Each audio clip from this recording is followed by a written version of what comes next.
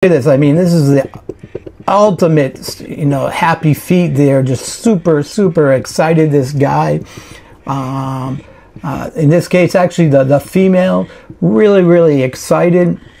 So this this pair bonding is very important. They're probably not going to lay soon, but they'll lay in the end of the summer, maybe early fall, hopefully.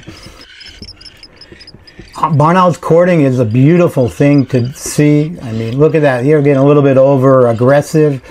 Uh, but these guys are just uh, real. This pair is a beautiful pair. It's such an entertaining thing to watch how they court when there's no nestlings and all the attention is to one another.